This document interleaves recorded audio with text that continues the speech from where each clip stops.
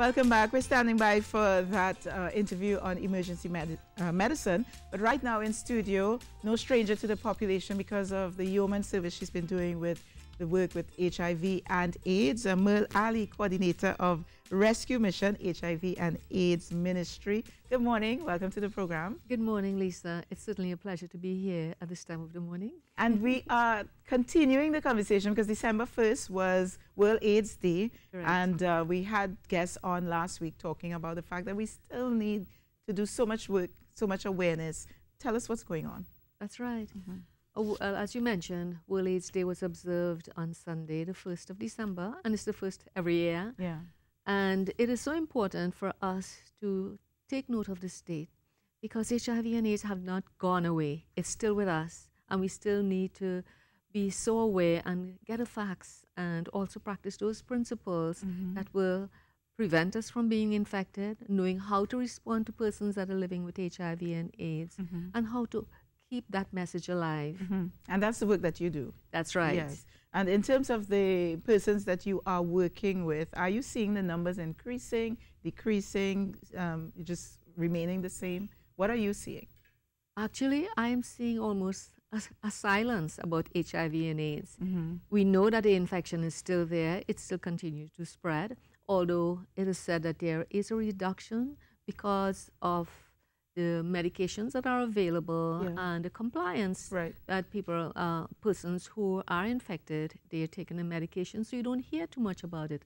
And someone who is HIV infected, they may not even have any symptoms that we used to associate it with ye- years ago. Mm-hmm. So someone looks normal, healthy, and continue to live a normal life, a productive life. Mm-hmm. So yes, HIV is still there, and um, precautions need to be taken in terms of reducing the spread, and hence going towards that goal of eliminating altogether. Mm-hmm. Yes. And uh, so it's no longer that sentence. So no, uh, definitely not. persons would remember in the early 80s when it was first discovered and you know it was almost pandemic and there was this angst, angst about That's HIV and. AIDS. But as you said now, do you think the silence has to do with the fact that persons are now more accepting in the workplaces, for example, where there was this, this great fear?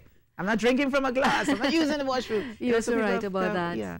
Yes, but I think the thing about it, we it, it was in our face. The Yeah. messages were there, Yeah. and now we are not seeing much of that. And I would really like to see more of those messages in various forms to constantly remind us that we need to take the necessary precautions Yes. to eliminate Yes. the spread of HIV. And you think it's possible to And it is possible. That is Okay. the goal that we are working towards. And as you mm-hmm. know, the theme for this year is eliminating uh, HIV and AIDS um, community by community. Mm-hmm. And a community is not just a geographical area, mm-hmm. but a, our sphere of influence. Wherever we go, whatever we do, whoever we associate with, we must be able to convey that message to say we can do it. And yes, I look forward to the day when I can say I am diabetic and not be ashamed of it Right. just like I am HIV positive and I am not afraid of the repercussions or Yes. the attitudes that someone may have. And do you think that the stigma that was attached to HIV and AIDS is still as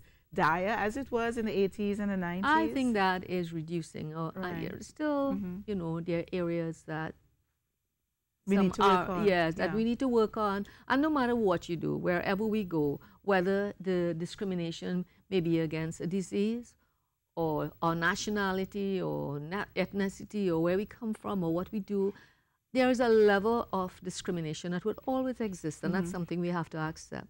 But in terms of HIV, I will say that there's been strides, and we continue to work towards that and see the eradication. But you've, you've contributed to those to that uh, work that has been done to build awareness and to work with the uh, victims, well, the survivors, really. Yes, that's uh, right. With the Rescue Mission HIV and AIDS Ministry. That's And, right. and just uh, we just have about a minute to go. Um, tell us what's next for you with regard to the ministry and the work that you're doing. Well, we started off with substance abusers. We saw the correlation with HIV, and now we are seeing a different trend, and that is what we want to be relevant to the times that we are living in. And regardless of a person's lifestyle, we must ensure that we exhibit the love, just as uh, Jesus said, by this will men know that you are my disciples when you love one another.